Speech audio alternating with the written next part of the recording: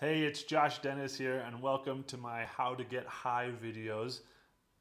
Now we're going to talk about the A vowel. Now, when I say A, I mean the letter E. And in this case, it's a closed E.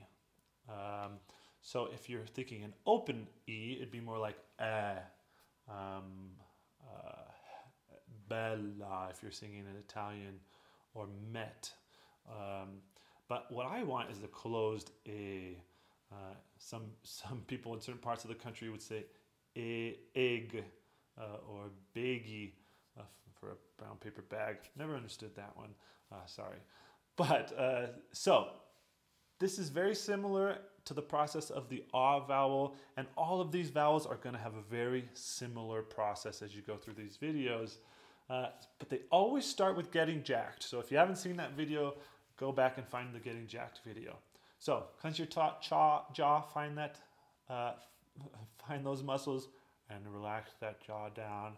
Get your chin down and back, and your tongue watching for tension.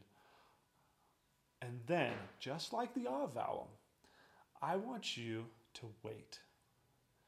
Wait and think a is enclosed a.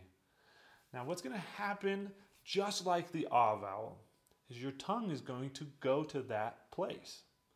Your brain knows what to do even when you've taken your jaw out of commission and you're totally relaxed.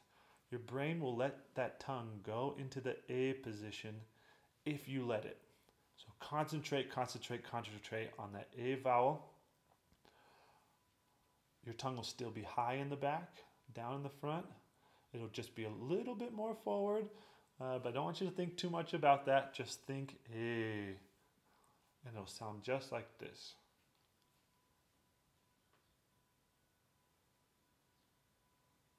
And that's all I want you to do. Just sigh out an A. And that's how we're learning how to sing these, these vowels freely.